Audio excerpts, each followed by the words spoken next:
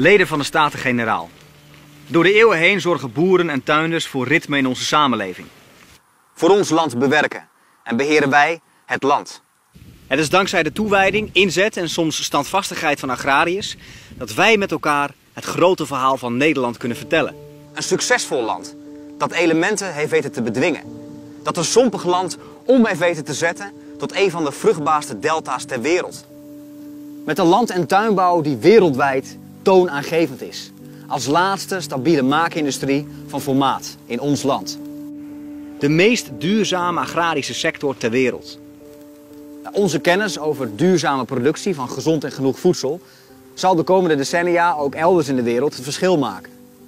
Agrarische ondernemers zorgen voor gezond en duurzaam geproduceerd basisvoedsel op ons bord en voor fijn groen in ons leven.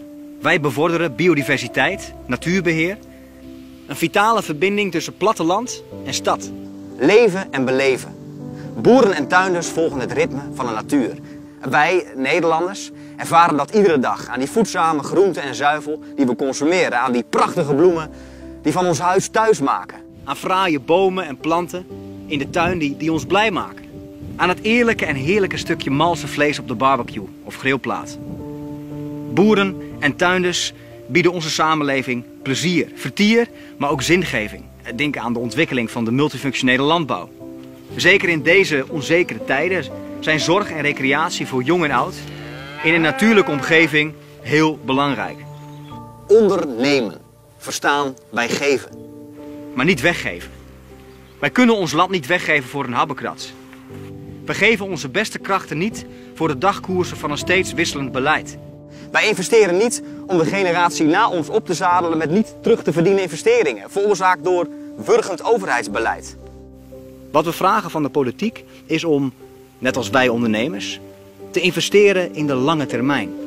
Boeren en tuinders bouwen voort op hun voorgangers. Het zou van wijsheid en inzicht getuigen als politici en bewindslieden durven voort te bouwen op goed bedacht en breed gedragen beleid.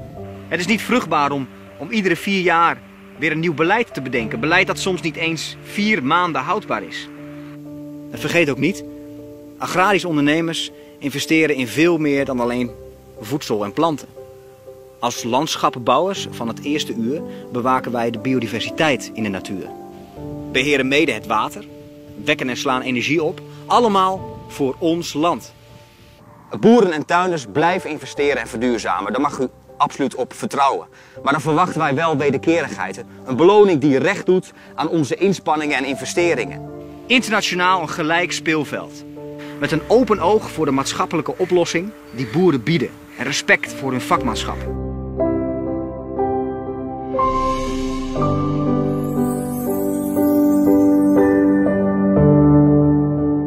Ja, natuurlijk. Onze samenleving verandert.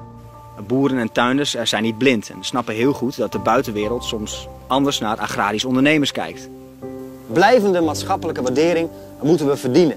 Door duidelijk uit te leggen wat we doen, hoe en voor wie. Iedere dag weer. Dat doen we graag. Maar het verhaal van boer en tuinder is het waard om verteld en gehoord te worden. Deze transitie vergt niet alleen nieuwe inzichten van agrariërs, maar ook van u. Dames en heren, politici en bestuurders in Den Haag, in de provinciehoofdsteden, in de gemeenten.